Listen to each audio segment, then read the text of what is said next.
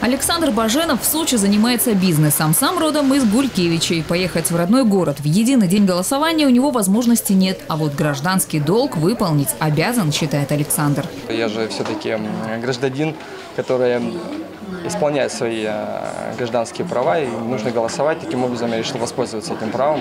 Тем более это стало так легко и удобно на сегодняшний день и доступно. На смену открепительному удостоверению в этом году, согласно закону, пришли заявления о включении в список избирателей по месту нахождения. Подать его можно в многофункциональном центре «Мои документы», куда и пришел Александр. Ну а вообще новой услугой уже воспользовалось солидное количество ответственных жителей края. Желающие есть уже по городу Сочи порядка около 30 человек, по центральному району порядка 19 человек э, написали заявление, то есть услуга востребована.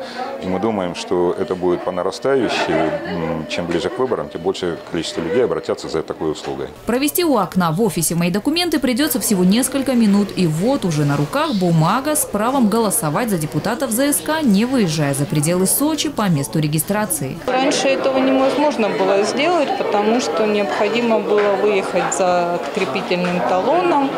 Для этого пропустить рабочие дни, и это не всегда было удобно. Воспользоваться удобной услугой можно во всех четырех МФЦ города. Дополнительные пункты в четырех районных администрациях, а также в администрации поселка Дагомыс, Волковского сельского округа и в Олимпийском парке школе номер 38. Инга Габеша, Ольга Десятого, Алексей Давыдов, телекомпания ФКТ.